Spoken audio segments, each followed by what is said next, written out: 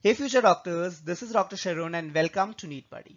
AFMC is one of the most prestigious colleges of our country. But what is the seat matrix of this college? How is seats distributed between boys and girls and how does reservation work in this college? In today's video in next 2 to 3 minutes, I am going to clear all your doubts regarding the seat matrix. Also, if you want to access complete set of 3 sample papers of ToELR test series, down in the description box you can find the link go practice as much as you want so without wasting much time let's get started with seat matrix of AFMC for year 2025 now the seat matrix of AFMC is slightly different from other colleges. There are total of 150 seats of which 5 seats are for foreign national. So for Indian national there are total of 145 seats. Of this 145 seats, boys get 115 seats and there are 30 seats for girls. Reservations. Reservations work very differently in AFMC.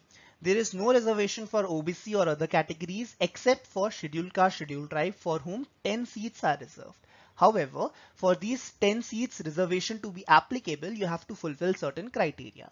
First, scheduled tribe, scheduled caste student must have applied for AFMC, must have written the NEET UG 2025 and cleared the cutoff. The cutoff of AFMC would be same for all category students.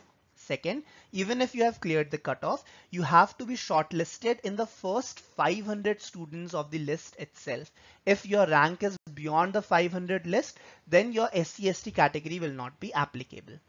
Third, you must fulfill all the other criterias or eligibility conditions that are fulfilled by non-SC/ST candidates. Like there is no concession in age eligibility, no concession in academic qualification, fitness, medical fitness criterias, etc. It is same for all category students. Also, whether you are from general category or schedule, schedule, schedule caste, schedule tribe category or any other category, you have to sign the surety bond in the same lines as other students. So that is everything you need to know about the seat matrix of AFMC and the reservation criteria in this college. Again, I am specifying guys in previous video also I specified on this point. You have to mandatorily register and apply for AFMC if you want to join AFMC. This registration and application of AFMC is separate.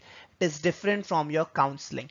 The registration starts along with the counseling process. However, if you have not registered for AFMC, even if you clear the cutoff after the AFMC has re released the cutoff, you will not be called for second stage screening. So you have to register and apply for AFMC and only then you will be considered eligible and called for screening process in AFMC itself.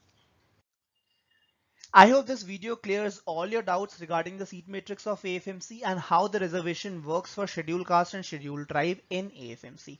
However, if some doubt persists, I'm always available down in the comment section. Let me know, post your queries there. I'll try my level best to solve your queries out there. Also, again, I'm specifying if you want to practice ToELR test series in the description box, you'll find the link. Go have the access to complete three sample papers set that I have provided for you guys. I'll see you guys in my next video. Till then, all the best and keep working hard. Do like and share this video if you find it helpful. And if you're new out there, don't forget to subscribe to our channel. Thank you guys for watching. Bye bye.